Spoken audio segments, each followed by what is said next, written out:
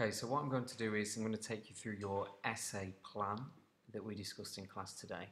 Um, basically, the essay needs to have a introduction, which is an overview, as it says there, of the two different genres, which are musical theatre and sound sculptures.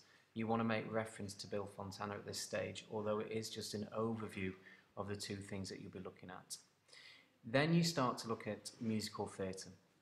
Um, you need to follow the Peel structure at all times, so that's the point, example, explain, and then link it back.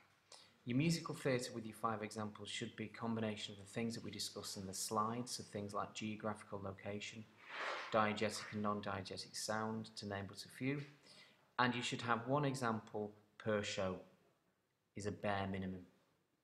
Um, you can't use the show more than once, and you can't use the same example more than once. Um, you must start with the show. You must give a brief uh, synopsis of what that show's about. So if you take High School Musical, then it's a it's a, a love story based in America.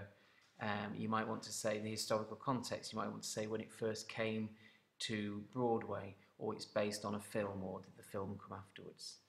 Once you've actually done the historical context of it, you then need to then talk about the five examples so you would talk for that particular high school musical, you might talk about the use of um, diegetic or non-diegetic sound and how it's used. You give an example of where it's used and you discuss what that does for the audience. Um, once you've done your musical theatre, you then look at uh, sound sculptures. Before you go straight into it, I want you to give an overview of what sound sculptures are. By doing so, you'll talk about Bill Fontana, so you'll say, who is he? What are his early influences? What does he want to achieve? Okay, they're the basics of what you need to talk about in your introduction for sound sculptures. When you're doing that, you need to also make reference to people like John Cage. Talk about the fact that uh, Bill Fontana um, is classically trained but decided to think about music and in the context of sounds around us um, and recording those and the displacement of sound and what displacement of sound means. I want you to, to discuss at least two of his pieces. Um, we've got River Sound, we've got um, the piece about uh, pigeons, uh, we've got another piece about uh, displacement of sound on a, on a, a bridge in America.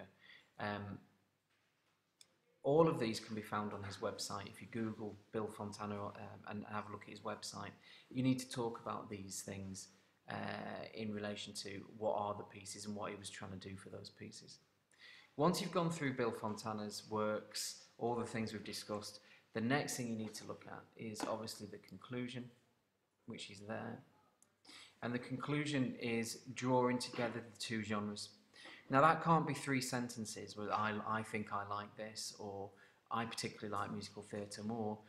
What you want to be talking about at this point is discussing the point that one genre, i.e. musical theatre, is there to entertain and the other is to make you think. It's to put a curveball in something. It's to give you something that's out of the ordinary. One is very conventional, one is very abstract. And what does that mean? Is there a place for it, for them both? So they're the kind of things you talk about in your conclusion. A couple of things to remember though overall.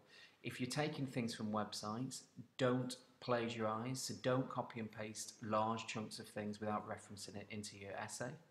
Remember that your essay um, has to be um, detailed, well written, check for grammar and spelling, and the overall essay must be in for this Thursday.